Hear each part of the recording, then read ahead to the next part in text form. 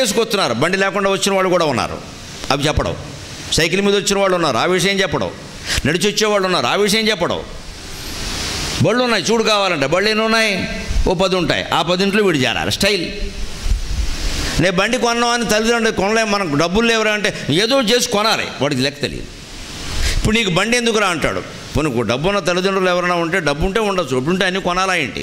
నీకు ఇప్పుడు బండి ఎందుకురా పదో తరగతికి సైకిల్ వేసి వెళ్ళొచ్చు కదా అంటే నేను కుదరదు అంటాడు. వెంటనే తల్లి తండ్రి కాదన్నా తల్లి సమర్థిస్తుంది. ఫోన్లే కొనచ్చుగా మనం ఎన్నింటికి తగలపెట్టట్లేదు వెంటనే భర్తకి భార్యకి గొడవ ఇక్కడ. ఇప్పుడు సమర్థింపు. ఒకవేళ తండ్రి కానీ తల్లి కానీ ఖచ్చితంగా నిలబడి నేను కొన్నాను అనుకో వెంటనే కుర్రాడు ఏమంటాడు తెలుసా? నేను ఇంట్లో వెళ్ళిపోతా లేకపోతే ఏదో చేసుకుంటా. బెదిరింపులు బ్లాక్మెయిలింగ్ వెంటనే తల్లి తండ్రి రాజీ పడిపోతారు. ముందు తల్లి రాజీ పడిపోతుంది. వాడు ప్రాణం తీసుకుంటారంటున్నాడు ఒక్కగానో ఒక్క కొడుకు ఏమైపోతాం మనం? ఓ బండి కొంటే ఏమైంది? ఇప్పుడు లక్ష రూపాయలు ఇంతిన రూపాయల దృష్టితో ఆలోచిస్తారండి. రూపాయల సమస్య కదమ్మా వాడు చెడిపోతాడు ఖచ్చితంగా. పదో తరగతి అంటే ఫోర్టీన్ ఇయర్స్. పద్నాలుగేళ్ళ వాళ్ళకి బండి ఎలా ఇస్తారు మీరు? లైసెన్స్ రావాలి కదా పద్దెనిమిది ఏళ్ళు దాడితే కానీ లైసెన్స్ రాదు కదా. పద్నాలుగేళ్ళ వాళ్ళకి బండి ఎలా ఇస్తారు? పదిహేనేళ్ళ కుర్రాళ్ళు పదహారేళ్ళ కుర్రాళ్ళు రింగ్ రోడ్లో పదహారు లక్షల బండి వేసుకుని వెళ్ళి నూట ఇరవై నూట ముప్పై కిలోమీటర్ల స్పీడ్లో వెళ్ళి ప్రాణాలు పోగొట్టుకున్నారు. తల్లిదండ్రులు గర్భశోకంతో ఉన్నారు ఈవేళ. ఈ హైదరాబాదులో ప్రముఖులు సినీ నటులు పెద్దవాళ్ళు చాలా పెద్దవాళ్ళు తట్టుకోలేని శోకంతో ఉన్నారు. వాడికి నిండా పదిహేనేళ్ళు లేవు. వాడు బండి బండి అని పేచి పెట్టి కొనిపించుకున్నాడు. కొనిపించుకున్నవాడు తిన్నగా ఉండడగా రింగ్ రోడ్లో వెళ్ళాడు. అక్కడ కొంచెం ఖాళీగా ఉంటుంది. వంద స్పీడ్ కాదు నూట యాభై స్పీడ్ పెట్టాడు. ఆ కుర్రాడికి ఏం తెలుస్తున్నాడు? ఆ వయసులో బాధ్యతలు? పెద్దవాళ్ళకి అరవై ఏళ్ళు డెబ్బై ఏళ్ళు దాటిన వాళ్ళకి బాధ్యతలు తెలియక నూట అరవై కిలోమీటర్ల స్పీడ్లో వెళ్ళి ప్రాణాలు పోగొట్టుకున్నారు. చూస్తున్నాం టీవీల్లో. మరి పిల్లలకేం పిల్లలకి ఏం తెలుస్తుందండి? అంచేత విద్య ద్వారా ముందు నేర్చుకోవాల్సింది ఏమిటంటే నాకు పదో తరగతికి బండి అవసరమా? ఇంటర్మీడియట్కి బండి అవసరమా? కాలేజీ బడి వాళ్ళ ఎవరికి హై స్కూల్ కానీ కాలేజీ కానీ కిలోమీటర్ రెండు కిలోమీటర్లు మించి దూరంలో లేవండి ఉంటే బస్సు ఉంటుందండి వెళ్ళడానికి. బస్సు ఎక్కి వెళ్ళచ్చు. కానీ నేను జమీందార్ కొడుకుని నేను సినిమా యాక్టర్ కొడుకుని నేను క్రికెట్ స్టార్ కొడుకుని నేను గరికపట్న నరసింహారావు గారు అబ్బాయిని నేను ఎలా పెడతాను సైకిల్ మీద? నేను ఇంకా అదృష్టవంతుడు నా విషయంలో. మా పిల్లలకి డిగ్రీ దాటే వరకు సైకిలే. ఏం మొహమాటం లేదు. ఒకరిద్దరు కొనమని పిలిచి అన్న నేను పెట్టిన కొనని చెప్పాను. నేను చాలా మొహమాటం లాగా నేను కొన్నాం. నీకు ఇష్టమైతే లేదా మానయ్య నేను కొన్నాం డబ్బు సమస్య కాదు నేను కొన్నా అంతే. కాసేపు గుంజుకున్నారు. పేచి పెట్టారు. అన్నం మానేశారు. నేను మానేశాను రెండు రోజులు వాడు తిన్నాడు నేను తిన్నాను. అయిపోయింది. కానీ ఇలా ధైర్యంగా ఉండగలిగే లక్షణం చాలామందికి తల్లిదండ్రులకు లేదు ఇవాళ. వాడు అన్నం మానేశాడు ఒక్కగానొక్క బిడ్డ ఒక్కగానొక్క బిడ్డ అని అమ్మాయిలకి అబ్బాయిలకి అందరికీ బళ్ళు కొంటున్నారు శుభ్రంగా. ఆ పైన మనకి మన ప్రాణాలు తినడానికి స్మార్ట్ ఫోన్ ఒకటి వచ్చింది. ఇవి ఏడో తరగతిలోనే ఇస్తున్నారు శుభ్రంగా. దానికి పాపం విద్యార్థులు మీరంతా ఏం చెప్తారు? చాలా గొప్పవాళ్ళు మీకు ఉపాయాలు బాగా తెలుసు. అమ్మ వాళ్ళు అప్లయన్సెస్ ఉంటాయి వాళ్ళు ఫీచర్స్ ఉంటాయి వాళ్ళు హోంవర్క్ అందులోనే అమ్మ ఫోన్ లేకుండా చదువు ఉండదు ఇవాళ అని చెప్పేస్తాం మనం అంతే. కానీ స్మార్ట్ ఫోన్ లేకుండా కూడా చదువుకోవచ్చు. ఫోన్తో పనేం లేదు. ఇందులో స్మార్ట్ ఫోన్ వాడని వాళ్ళు చేయొత్తండి నిజాయితీగా వాడని వాళ్ళు వాడుతున్న వాళ్ళు కాదు వాడని వాళ్ళు. మీరే ఒక్కసారి చూసుకోండమ్మా ఇంతమందిలో స్మార్ట్ ఫోన్ వాడని వాళ్ళు గట్టిగా లెక్క పెడితే ఇరవై మంది లేరు. దించండి సార్. మీరు కూడా నిజాన్ని చెప్పారు సంతోషం మీకు నమస్కారం. అవసరమా అండి? మీరు ఆలోచించండి. పదో తరగతి లోపు ఇంటర్మీడియట్ చదువుతున్న వాళ్ళకి స్మార్ట్ ఫోన్ అవసరమా అండి?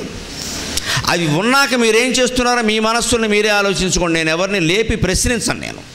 కానీ మీరే ఆలోచించుకోండి. క్లాసులో ఉండగా పాఠం చెబుతుంటే పాఠం ఎప్పుడైనా విసుగొస్తే మన కింద నుంచి దీన్ని తీసి నొక్కామా లేదా? ఐ పేడ ఆవు పేడ గేదె పేడ అన్ని పెట్టి. ఖచ్చితంగానండి బుర్ర బుర్ర ఇది. ఈ బుర్ర ఈ వయస్సులో ఎలా ఉంటుంది అంటే చెయ్యొచ్చా చెయ్యకూడదా అనేది అనవసరం. చేద్దామంటే చేసేయి అంతే. చేద్దామంటే చేసేయి. ఇంకా ఆలోచిస్తావేటి? అని అనిపిస్తుంది ఖచ్చితంగా. దాని నుంచి మనం తప్పుకోవాలంటే శ్రీనాథుడు చెబుతాడు కాశీఖండంలో ఉదాహరణ నీ జీవితం విద్య నీకు ఉపయోగపడేలా చేసుకోవాలని కాళిదాస్ చెప్పాడు కదా. నీ జీవితంలో సమస్యలను ఎదుర్కోవడానికి నీ తెలివితేటలు పెరగడానికి నీకు సమాజం పట్ల ప్రేమ భక్తి కలగడానికి నీ జీవితం పట్ల నీకు బాధ్యత కలగడానికి నీ చదువు ఉపయోగపడినప్పుడు దేనికి చదువు అంత? నువ్వు పదో తరగతి చదివితే వందో తరగతి చదివితే ఎవరికి కావాలి ఇక్కడ? కానీ దానికి అడ్డొస్తున్నది ఏమిటంటే ఈ వయస్సులో వాడుతున్న ఈ స్మార్ట్ ఫోన్లు బళ్ళు ఇవన్నీ సెల్ ఫోన్లు ఇవన్నీ ఏం చేస్తున్నాయంటే మన రకరకాల పిచ్చి కాలక్షేపాల పాలు చేస్తున్నాయి. పిచ్చి కాలక్షేపాలు. ఎందుకంటే అందులో ఏదో ఉంటుంది చూడబుద్ధి అవుతుంది వాట్సాప్ ఉంటుంది ఫేస్బుక్ ఉంటుంది ట్విట్టర్ ఉంటుంది వంద రకాలు ఉంటాయి ఎప్పటికప్పుడు న్యూస్ వచ్చేస్తూ ఉంటుంది నొక్కుతావు ఖచ్చితంగా. నేను నొక్కాననుకో నా వయస్సు అరవై ఇంకా నాకేం పెద్ద ఆలోచనలు వ్యాపకాలు వీటి మీద ఏం దృష్టి ఉండదు. ఎందుకంటే మంచో చెడ్డో అన్నీ అనుభవించాంగా మేమేం గొప్పవాళ్ళం మంచివాళ్ళం అని చెప్పట్లేదంటే మేము తప్పులు చేసాం కానీ అయిపోయినాయి అవన్నీ అయిపోయినాయి. ఇప్పుడు మాకు వయస్సు ధాతువులు క్షీణిస్తూ ఉంటే నీరసం వస్తుంటే ఇంకెలా ఉంటుందంటే దేవుడో దేవుడో ఆ దేవుడెవడో కనపడితే బాగుండు ఏమిటో ఆత్మజ్ఞానం అంటారు. అది అదంటారు ఇది అంటారు ఆధ్యాత్మికం చెప్పేవాళ్ళు చెబుతున్నారు మాకేం దొరకట్లేదు అని కొంచెం ప్రయత్నం చేస్తాం. మా వయస్సు ఉన్నా కూడా వ్యధవేషాలు వేసేవాళ్ళు ఉండొచ్చు. వాళ్ళ కర్మ వాళ్ళది. నేను చెప్పను ఆ విషయం. ఉంటుంది. కానీ నీ వయస్సులో సహజంగా దృష్టి ఎలా ఉంటుంది అంటే ఒక అందమైన అమ్మాయి కనపడితే నువ్వు అది మానేసి గౌతమ బుద్ధుడి జీవిత చరిత్ర చదువుతూ కూర్చోవు. సాధ్యం కాదు అది. సాధ్యం కాదు నీ వయస్సుకు సాధ్యం కాదు. ఇది పైగా నీకు చెప్పే ఉదాహరణ కూడా ఎలా ఉంది? ఆమె ముఖము చంద్రబింబం వలె ఉండెను. అంటే వెంటనే నీకు మనసులో తోచేది ఏమిటి? మన క్లాసులో ఎవరి ముఖం చంద్రబింబంలా ఉంది చూడే. సెల్ఫీ దిగుదాం అంతే. పైగా ఎవరైనా అమ్మాయి ముఖం చంద్రబింబం అంత అందంగా లేకపోతే మోహన్ చూడు ఎలాగుందో గొట్టంలాగా. మళ్ళీ ఆక్షేపణ. అందంగా ఉంటే ఫోటో దిగుతాడు. అందంగా లేకపోతే ఆక్షేపిస్తాడు. అంటే అందంగా లేని మనుషులందరూ చచ్చిపోవాలంటే నాకు అర్థం కాదు. ఆ చంద్రబింబంలాగా అందంగా లేని అమ్మాయిలు అబ్బాయిలు చచ్చిపోవాలా? అందరూ అందంగా ఉంటారా? పైగా అందం అనేది ఏమైనా మనం ప్రయత్నిస్తే వస్తుందా? నాకు ఇప్పుడు నెత్తి మీద జుట్టు కావాలమ్మా ఏం చేస్తే వస్తుందో మీరు చెప్పండి. I'm very much worried about that నేను కవిని చూసి అసూయపడను నేను కవిని. నేను పండితులను చూసి అసూయపడను నాకు పాండిత్యం ఉంది. నేను నేను కోటీశ్వరుని చూసి అసూయపడను నేను ఐశ్వర్యవంతుడు నేనేం పేదవాడిని కాదు నేను పది మందికి దానం చేసే పరిస్థితిలో ఉన్నా. నేనేం పేదరికంలో లేను. నేను ఇంకొకళ్ళ అందాన్ని చూసి కూడా నేను అసూయపడను. నేను అందంగా ఉంటానని మా ఆవిడ చెప్పింది. సార్ ఇంకెవరు చెప్పక్కర్లేదు. ఇంకెవరైనా చెబితే ప్రమాదం ఆవిడ చెప్పకపోతే ప్రమాదం. నాకు చెప్పేసింది గొడవలేదు కానీ నెత్తి నిండా జుట్టు ఉన్నవాడిని చూసి నేను కుళ్ళిపోతాను మీకేం తెలుసు?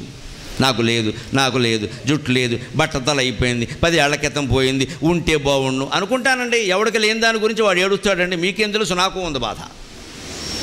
కానీ ఈవేళ నేను మూడు వందల అష్టావధానాలు చేశాను ఓ పది శతావధానాలు చేశాను సహస్రావధానం చేశాను. ఇరవై రోజుల్లో ఇలా వెయ్యి మంది విద్యార్థులు కాదండి విద్వాంసులు కూర్చొని తెలుగులో సంస్కృతంలో రకరకాల ప్రశ్నలు వేస్తే వాళ్ళకి ఇరవై రోజుల్లో వెయ్యి పద్యాలు చెప్పి చివర ఇరవై ఒకటో రోజున ఉదయం నుంచి రాత్రిలోగా వెయ్యి పద్యాలు ఏకధాటిగా అప్పగించాను. దాన్నే సహస్రావధానం అంటారు. ఇంత ప్రయత్నం చేశాం. కానీ నేను సరస్వతీదేవి ఇంత చేశాను కదా అని ఆవిడ సంతోషించి నీలా చేసిన వాళ్ళు రాష్ట్రం మొత్తం మీద ఎవరో లేరురా నువ్వు ఉన్నావు ఇన్ని పద్యాలు అప్పగించావు సరస్వతీదేవి పరువు నిలబెట్టావయ్యా అని సరస్వతీదేవి కనపడితే నేనేం అడుగుతానో తెలుసా? నెత్తి మీద జుట్టు లేదమ్మా జుట్టి అని. నీకు నా బాధ నాది. అప్పుడు సరస్వతీదేవి ఏమిటో వేర్రాడు జుట్టు కోసం ఏడుస్తున్నాడు ఇంత పాండిత్యం ఉండి కూడా. పోన్లే వాడు అడిగాడు కదా ఇద్దాం అని జుట్టు ఇచ్చి నా ఉపన్యాస శక్తి నా ప్రవచన శక్తి నా పద్యాల శక్తి మొత్తం పీకేసింది అనుకోండి. నా బతుకు ఏంటండి? నన్ను జుట్టు ఉంది కదా అని ఎవడన్నా పిలుస్తాడా? జుట్టు ఉన్నవాడు చాలామంది ఉన్నారు లోకంలో అందరినీ పిలిచి మాట్లాడమంటారా? నాకు మాట్లాడడానికి వీలు కాదండి అయినా బతిమాలుతారా? వీళ్ళు ఎందుకు బతిమాలుతున్నారంటే మన వాక్కు గురించి కదా వాక్శక్తి గురించి కదా జుట్టు గురించి కాదు కదా. అంచేత లోపాలు వెతుక్కోవడం మొదలు పెడితే మనలో కూడా మనకు చాలా దొరుకుతాయి. ఇతరుల్లో ఇంకా ఎక్కువ దొరుకుతాయి. ఈ ఆలోచన మానేయాలంటే ముందు ఆ స్మార్ట్ ఫోన్ వాడకాన్ని మానేయాలి లేదా తీసి పారేయాలి తగ్గించాలి కనీసం. చదువుకునే కుర్రాడికి స్మార్ట్ ఫోన్ దేనికండి? అందులోకి వెళ్ళిన తర్వాత రకరకాల ఇలా టచ్ ఫోన్ ఊరికి టచ్ నొక్కో. మూడు లోకాలు వచ్చేసాయి అక్కడికి మొత్తం ఇక్కడ అమెరికా కూడా వచ్చేసింది. అని చూపించే ఈ అన్నావు ఇంకోటికి చూపించావు. నువ్వు ఊరుకోవు కదా పక్కవాడికి చూపిస్తావు వాడిని జడగొట్టావు నువ్వు చెడిపోవడం కదా వాడిని చెడగొట్టావు. కాస్త క్లాసు నుంచి బయటకు వదిలిపెట్టారు. ఇంకంతే ఒకటికి లేదు రెండుకి లేదు లఘుశంక లేదు ఏమీ లేదు. మళ్ళీ చూసుకో మళ్ళీ జేబులోంచి తీ మళ్ళీ నొక్కో నొక్కో.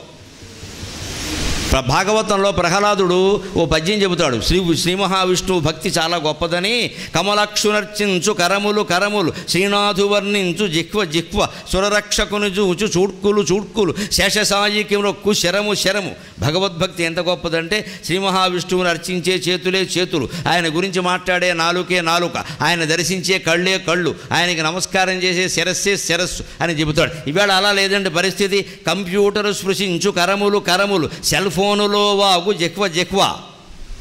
కంప్యూటర్ స్పృశించు కరములు కరములు. సెల్ ఫోనులో వాగు జెక్వ జెక్వ. వాట్సాప్ చూచడి వాల్గంటి వాల్గంటి. వెంటనే లైక్ కొట్టు వేలు వేలు. వాట్సాప్ చూచడి వాల్గంటి వాల్గంటి. వెంటనే లైక్ కొట్టు వేలు వేలు. ట్విట్టరులో పెట్టి తిట్టు తిట్టే తిట్టు. ట్విట్టరులో పెట్టి తిట్టు తిట్టే తిట్టు. ఫేసుబుక్ అయిపోవు ఫేసబుక్కు. ఫేసుబుక్ అయిపోవు ఫేసబుక్ ట్విట్టరులో పెట్టి తిట్టు తిట్టే తిట్టు. ఫేసుబుక్ అయిపోవు ఫేసుబుక్ అయిపోవు ఫేస్ ఫేసు. వీడియో చాటింగు విద్యార్థి విద్యార్థి. స్మార్ట్ ఫోన్ చెప్పడి చదువు చదువు. వీడియో చాటింగు విద్యార్థి విద్యార్థి. స్మార్ట్ ఫోన్ చెప్పడి చదువు చదువు. ఆరు సిమ్ములున్నవాడెపో ఆధునికుడు. ఆరు ఫోన్లున్నవాడెపో ఆధునికుడు. అప్పు లెగగొట్టువాడెపో గొప్పవాడు. ఆరు ఫోన్లున్నవాడెపో ఆధునికుడు అప్పు లెగగొట్టువాడెపో గొప్పవాడు. ఇవి ఎరుంగని వాడెపో చవటయనగా. ఇవి ఎరుంగని వాడెపో చవటయనగా. నాగరికమన సర్వము నాశమగుటే.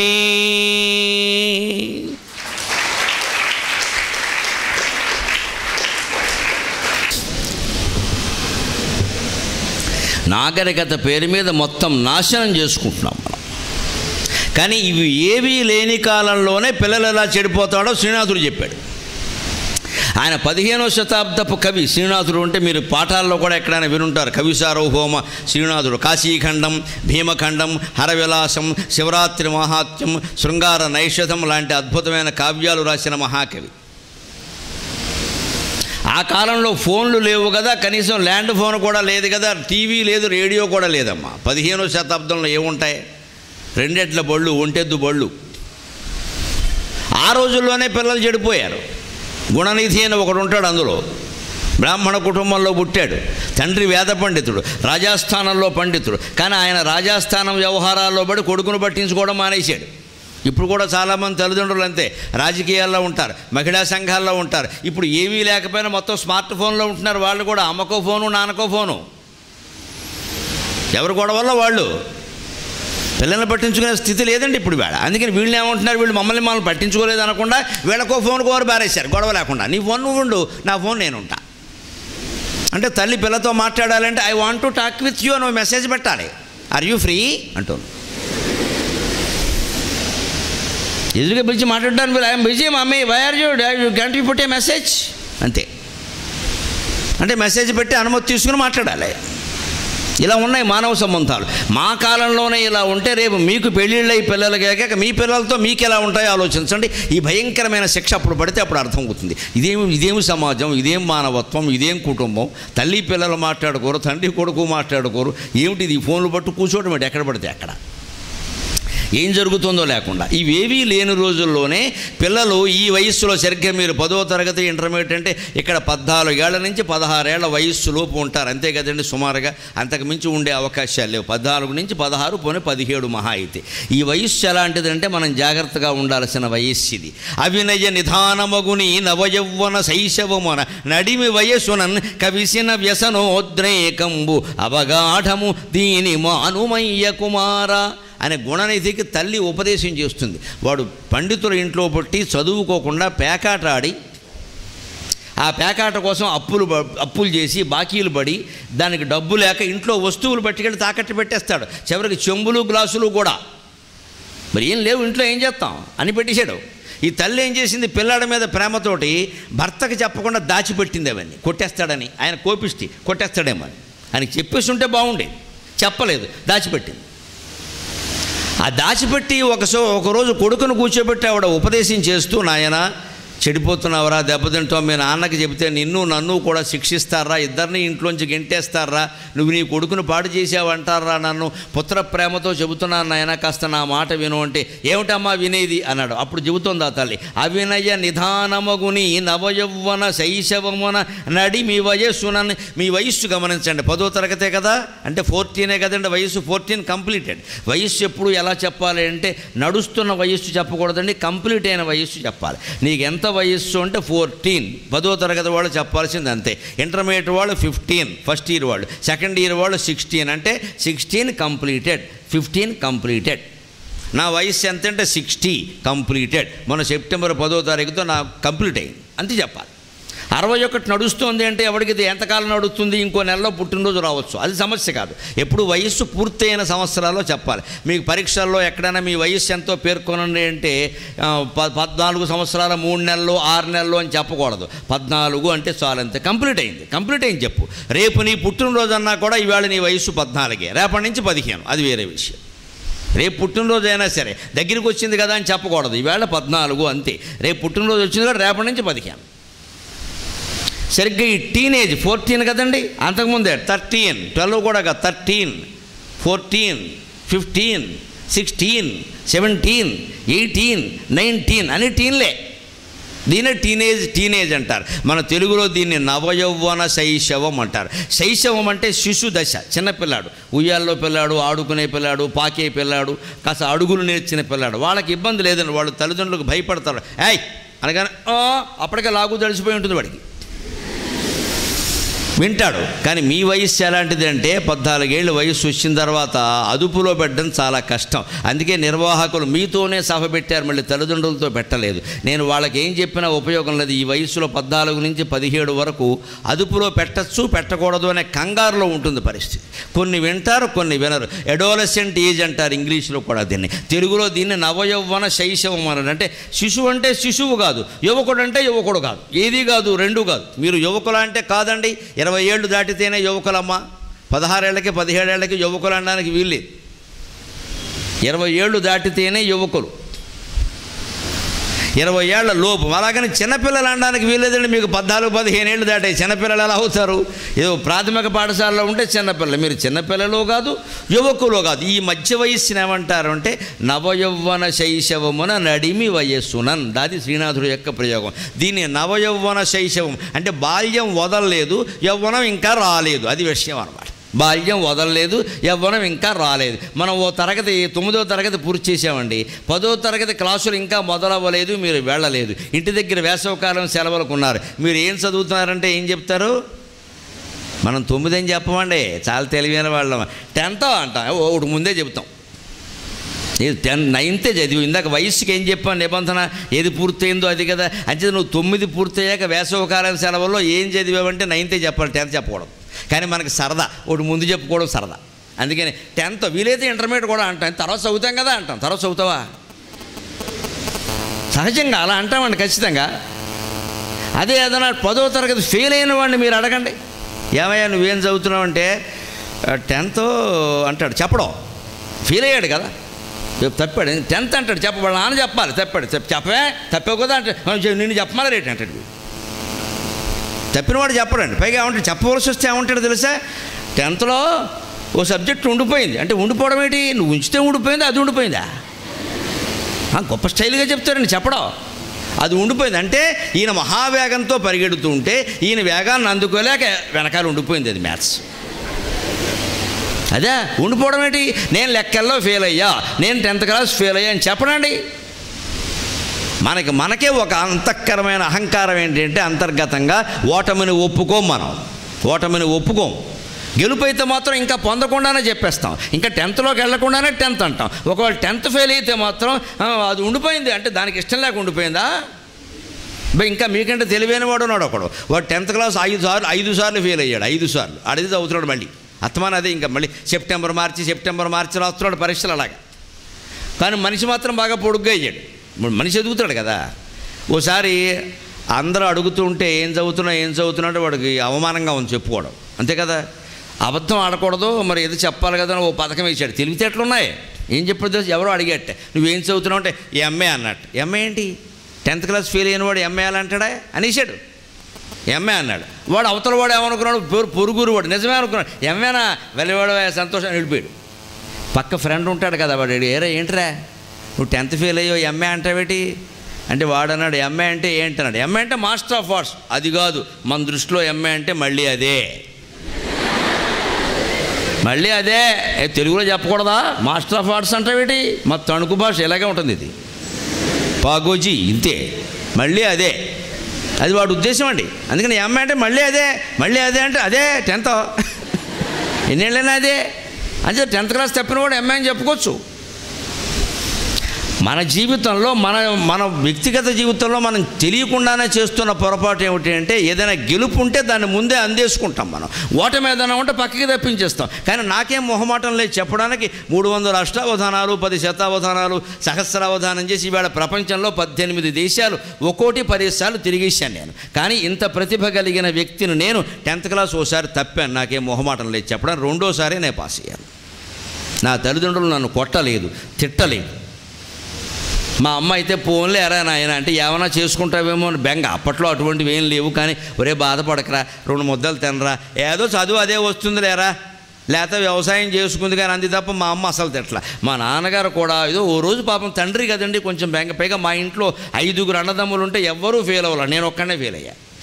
అందరూ మొదటిసారే పాస్ అయ్యారు టెన్త్ కాశీపాడని తాడేపల్లిగూడెం పక్కన ఉంది. మూర్తిరాజు గారి బడి కెనడీ హై స్కూల్. అందులో చదువుకున్న ఇవాళ ఇవాళ జిల్లా పరిషత్ అయింది అందులో చదువుకున్నాను నేను. టెన్త్ ఫెయిల్ అయ్యాను నేను.